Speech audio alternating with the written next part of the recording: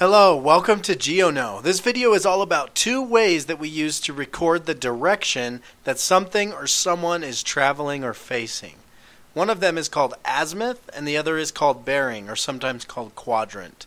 So specifically I'm going to introduce you to both of those types of direction systems and then I'm going to show you how to convert between one and the other. Alright, very good. So we're going to start off right now converting from azimuth to quadrant. So let me just give you a little bit of information about each one and then we'll get into it. So just remember for azimuth, your north is zero and you go all the way around until you come back to north at 360.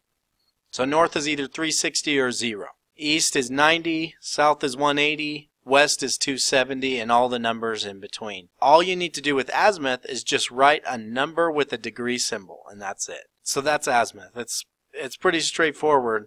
As far as the quadrant system, that's what you have down here. And it's divided into four parts. So you have your northwest quadrant, your northeast, southeast, and southwest quadrants. Now if you're in your northeast quadrant, the way that you write your answer is you put north, and then you say how many degrees east you traveled, so it'll be a number, and then you do east. So you're always going to have a sandwich of whatever quadrant you're in.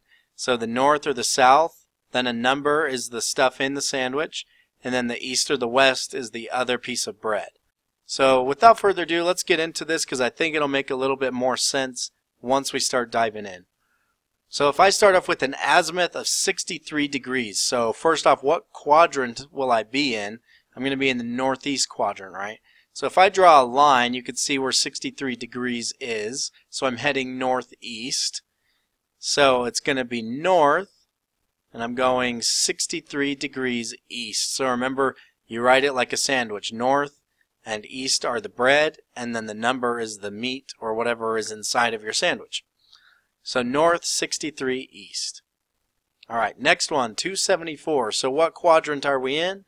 So 270 is directly west, so we went up four degrees into the northwest quadrant. So we're just barely in the northwest quadrant. So we should expect to have an answer of n, a number, and then a w on the other side. So in this case, since we start at north, we need to know how many degrees west we went. So it, I'm just drawing this red line because I've drawn the two systems together so you can see where they intersect. So if we're at 274, looks like we're at 84 or 86 degrees there. So north, 86 west, because we went 86 degrees to the west. The next one, 236 degrees. 236 degrees is in the southwest quadrant.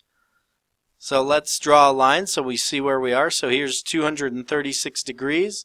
Looks like we're going to be at south 56 west.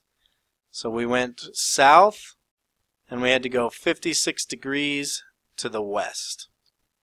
All right, next one, 147. So this is going to be the southeast quadrant. I'm just trying to do one in each quadrant so you kind of get the picture of how to deal with these things.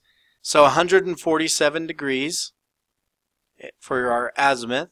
So that leaves us at south, and we go 33 degrees to the east. So that's how you convert those.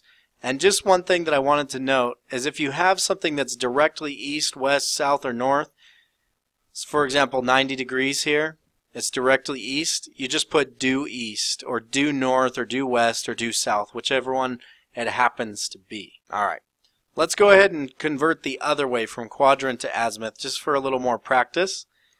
So the first one we're going to do is north 33 west. So we're going to be in the northwest quadrant and we're going to see, let's see if we can figure it out without our line. So if we're at north and we went 33 degrees to the west, where are we? So pretty much north is 360 and then we subtract 33 degrees. So that's going to leave us at 327. 327 degrees for our azimuth. All right, for the next one, north 89 east. So I'm in the northeast quadrant. 89 degrees is just barely there before I put due east, right? And so north 89 east is just 89 degrees azimuth. And normally you put a degree symbol on these, just so you know. Alright, the next one is south 43 east.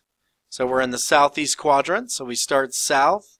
and we go 43 degrees to the east. So if we're at 180 and we're going backwards in our tick marks, then we need to do 180 minus 43 to get to what our number should be. So 180 minus 43, 180 minus 40 is 140, and then minus 3 more is 137.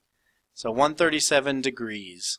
And then our last normal one that we'll do, south 56 west. So the southwest quadrant.